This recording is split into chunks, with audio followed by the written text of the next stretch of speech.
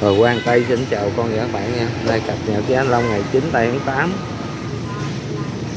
Thì uh, có nhiều bà con chắc uh, cũng đang muốn biết uh, ngoài đồng thanh long trái xanh trái ẩn nhiều nha. Thì uh, mình cập nhật luôn là trái xanh trái ẩn ngoài đồng thì có đợt này rất ít chứ không có nhiều nha chỉ có cái đợt à, sau à, cái đợt này à, thì cái đợt búp cuối cùng để chuẩn bị bước vô sông đèn thì nó có nhiều nha.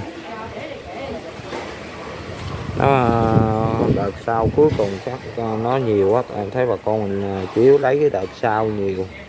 Chứ cái đợt này bà con lấy nó ít chứ không có nhiều thì giá hành Long hiện tại thì mấy kho mua trên lệch ờ, một ngàn đồng một ký nha. Ruột đỏ cũng vậy. Ruột đỏ thì có kho mua loại 1 21 ngàn có kho mua loại 1 22 ngàn. Còn giá anh Long ruột trắng miền Tây và Bình Thuận thì trên lệch từ 1 đến 2 ngàn. Bây giờ cập nhật giá Long ruột trắng trước nha bà con. Giá Long ruột trắng hiện tại thì ờ, nó nằm ở 10 13 14 15 hàng đẹp đó nha.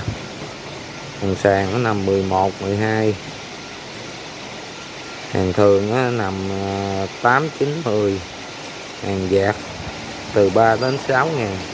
Giá lông ruột đỏ loại 1 22 ngàn. Loại 2 17 ngàn. Loại 3 12 ngàn. Loại 4 6 ngàn. Hàng dạt từ 2 đến 4 ngàn đồng một ký nha. Rồi hôm nay mình cập nhật cho anh giá long đến đây cũng xin kết thúc. Và cô quan tâm, mình nhấn đăng ký kênh để mình cập nhật giá long mỗi ngày nha. Rồi xin chào bà con và các bạn, hẹn gặp lại video sau nha.